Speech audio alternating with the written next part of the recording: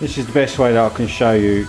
I've tried different angles, but uh, it shows you the arc that the steering takes when it goes forwards and backwards with the A8 suspension setup, the four link top and bottom.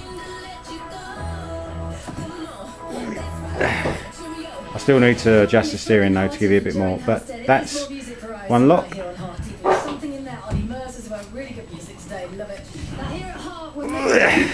Something in there, Ollie Mercer's about really good music today. Love it. Now here at Heart, we're making you look forward to Monday. And that's the other So you've lock. got your chance to win a personal masterclass with a professional There's absolutely makeup artist. I would love no this. It's a hundred pound of spending money. movement from that way as well. Now, or that way. It stays there free Model Zone and it goes like that or like that. details, go to heart.co.uk. It's quite impressive, but it allows me to put 20s on the front because I've got loads of room. Right, uh, this is with the 17, but it's got a 55 profile. A 20 with a 35 profile will still be exactly the same size tyre because I've done a tyre sales tyre size calculation.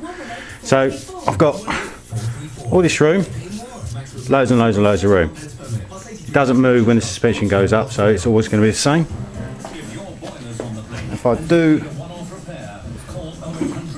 full lock, hold on a second.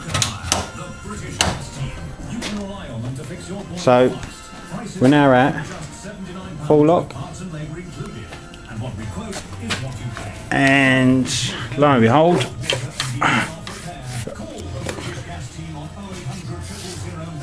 still loads and loads and loads of space.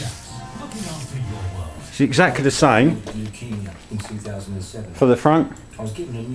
Uh, the steering's not steering geometry is not accurate track or I should say the tracking. So uh, My name is Paul Blackatar. it doesn't go it's better.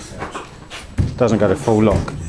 Sooner will beat all cancer. Just sort of give you an idea. Sooner to 7800 to Hold on a second. five pounds today. One day we will beat cancer, and let's make it sooner. Text the charge at five pounds plus one standard rate. Hi, I'm Damien. Well, that's on the steering lock. But again, So we take every care to ensure we deliver only the best quality fresh foods. This year our loads and loads and loads of room. Because we have won Retailer of the Year award for So. Uh, looks like 20s it is.